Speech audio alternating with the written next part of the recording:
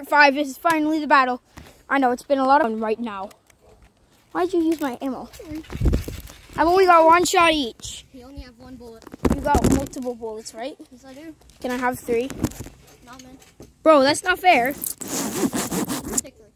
Okay. No, I, I only need two. Thanks, though. Oh, it's one of these whistle bullets. Man, know what? I call whistle. The whistle bullet are the best.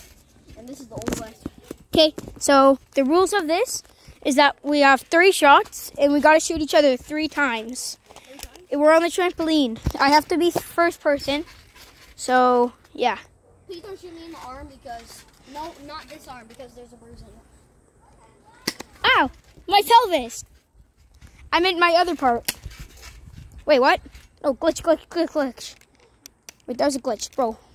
Bro, bro, bro, you went through this, you went through this. I would.